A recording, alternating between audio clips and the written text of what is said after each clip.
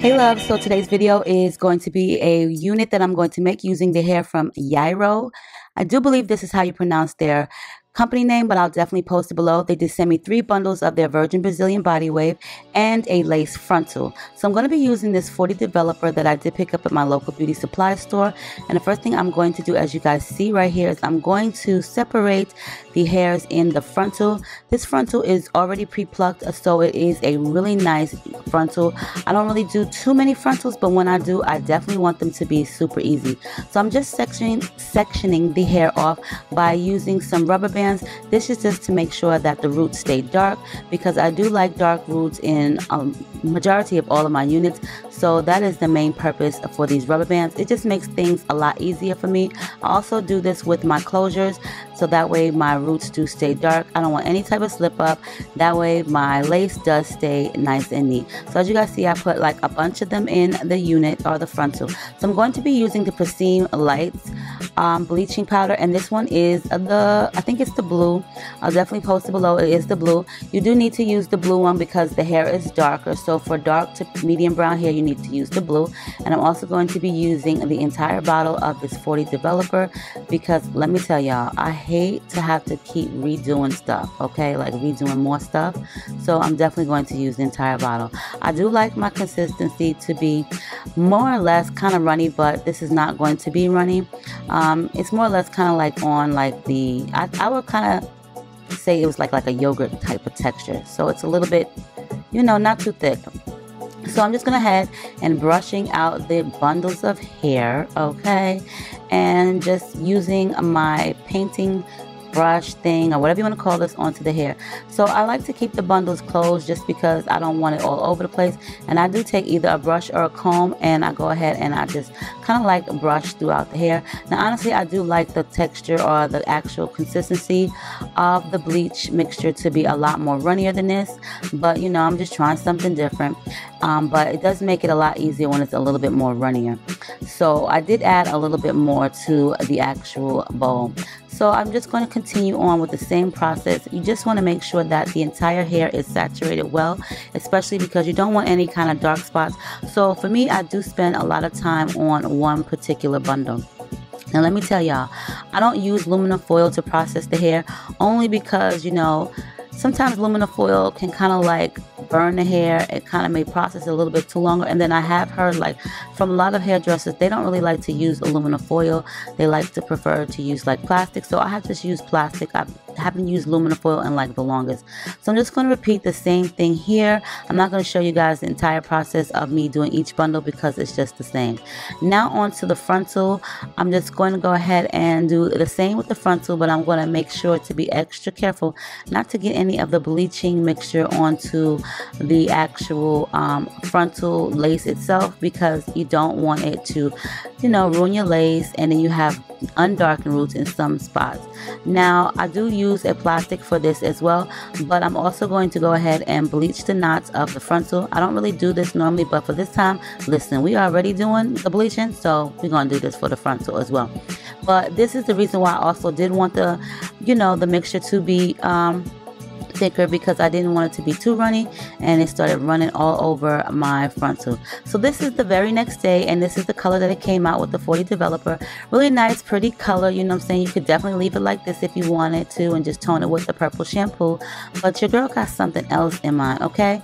And this is what it is. I'm going to be using the Revlon Color Silk and this is the color Bright Auburn. I thought this would be really pretty for this color right here. So that is the reason why I lifted it like this. I could definitely do it again another lift but I'm really not going to do that because I'm not trying to you know um, um, dry the hair out. So I'm just going to go ahead with the one um, bleaching process of the 40 developer. And I think I left it on for probably like the 40 minutes. And the hair is still really like soft. It's not dried out as you guys can see. The roots look good. The color actually looks really nice. It's not too bright um, brassy. So like I was saying, you definitely need to use a like the blue bleach, the blue one, if you are using dark to medium brown hair. So that way you don't have an orange tone. So as you guys see, I'm just going to take the um, Revlon Color Silk and I'm just going to, you know, brush it onto the hair. This is just like a tedious process. I don't really want to take the entire bottle and just squeeze it onto the frontal because I don't want any mishaps, mistakes, or what you call. It. So I'm just going to take my little brush here and I'm going to take my time and brush the entire frontal so that way nothing, you know, gets on my lace and doesn't mess up my dark roots or anything like that. And that's also the reason why I did leave the bundles closed together because I still have dark roots on that as well. So if you are looking for dark roots and you want your hair to stay dark roots, you can definitely try the rubber band method that I use. Um, I've done this like on several occasions. I just try to find stuff that's really easy for me because I am not trying to catch a headache. Now as you guys see here, I'm just going to do the same thing with the frontal. I'm going to go ahead and I'm going to take the dye and I'm going to just go ahead and brush it on. So it does appear like a purplish color on the plastic, but it's definitely going to be this really, really awesome color as you guys can see from the box. The color is bright auburn and you can pick this Revlon Color Silk dye up at Walmart for $2.92. Other places you'll probably get it for 4 but it is fairly cheap, but it is a really good dye. I love the color that it gives me. I do use like other colors as well from this line, but most importantly this is like a gorgeous gorgeous color bright auburn is like hidden it's very like autumn it's very trendy color so i'm going to take the front and i'm just going to put it inside this 99 cents only bag just so that it can you know process so now onto the bundles i'm just going to squeeze the bottle on into the hair i did get i think it was um four boxes of the Revlon color silk. Listen, sometimes you don't need a whole bunch, but let me tell y'all, I hate running out of something in the middle of a project. That is one thing that I do not like. It has happened to me quite often, quite a few times, and I had to rush to Sally's. Thank God I didn't get no, you know, speeding ticket, but yes, I like to buy enough so that way I don't have to run out. So I did purchase four boxes, especially because it's only $2.92 at Walmart. So for the most part of the hair, like I said, it did process really easy. I did want it a little bit lighter than this, but you know what? It did come out a nice color. I like the fact that, you know what I'm saying, um, the hair was still soft after I actually processed it with 40 Developer. And it was, um, I did shed just a tiny bit when I washed it, but nothing major. I do like it a lot. So as you guys see, this is like two days later. I did um, make the unit as you guys can see right here and I'm just gonna go ahead and put it on I didn't put any combs in this unit but that's okay but um, as you see look those little grid marks in between my lace part right there that's actually just the fishnet um, stocking cap that I have on so the lace is like bomb as hell as you guys can see look how pre-plucked and see-through it is and I did use my curling wand barrel to curl this hair but then right after I finished curling it I went ahead and put in those flexi rods. So that's the reason why I got like this really glamorous kind of like big tight curls.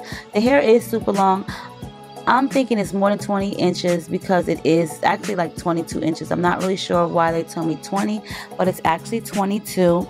Um, it's just so pretty. It did dry up a little bit, meaning the ends were a little bit dry, but for the most part, listen, this color is a hit. Like this is a very pretty color.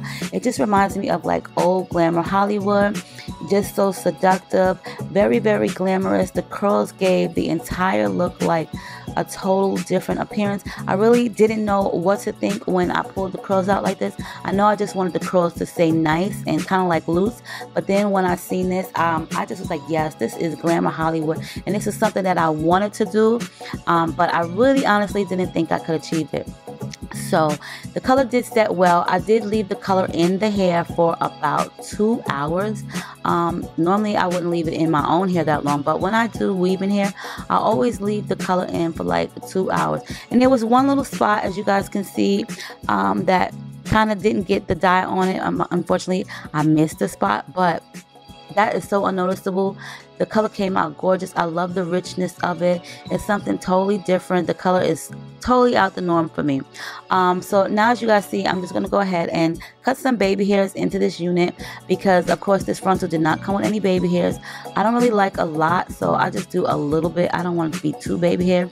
Um, so I just take my rat tail comb. The frontal um, is just gorgeous. I didn't put any combs in the unit and I didn't even put in my elastic band yet because I was just in a rush and I really wanted to actually put the unit on so you guys can see what it looked like.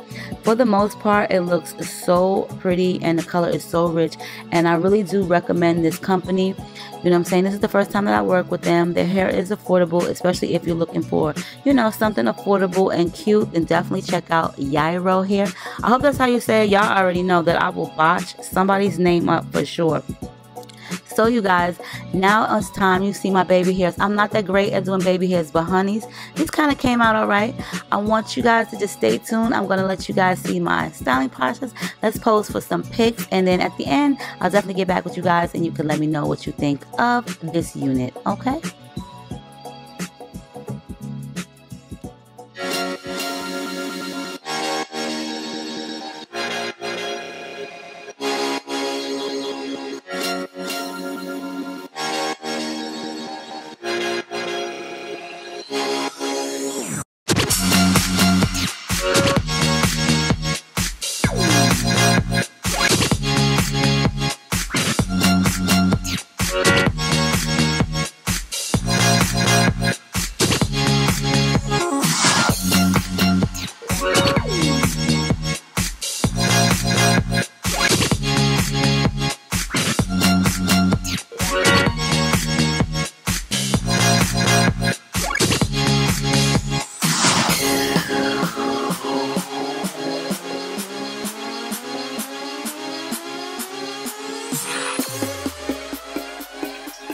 Guys, so I really was going to make this entire video a talk over or a voice over rather because I just wanted to speed through it just because I bleached it and I dyed it and I know that was a lot but I just thought I would say a few things. First of all, the hair curls, the curls came out so nice like this is like old glamour Hollywood kind of like look that I was going for.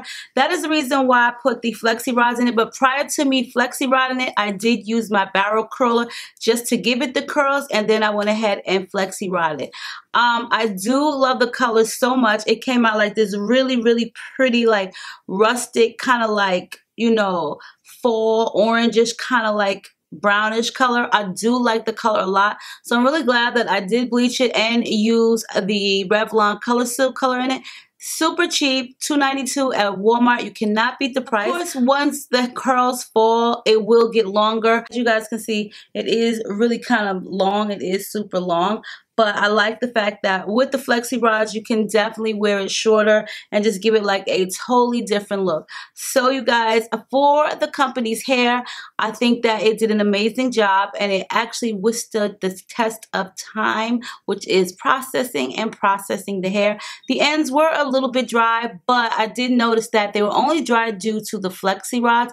Once I just barrel curled it they were not dry like that but it seems like every time I flexi rod something it kind of gets a little bit dry at the end but I do like the fact that the curls kind of like held together because of the ends so I will say this I do like the hair. I'm not really sure how to pronounce the companies but I will say this their frontal was laid to the gods honeys. Like I didn't even do anything to it meaning I didn't pre-tweeze it. I didn't pluck it or anything. The hairline is bomb as hell on this actual frontal. So, oh my God.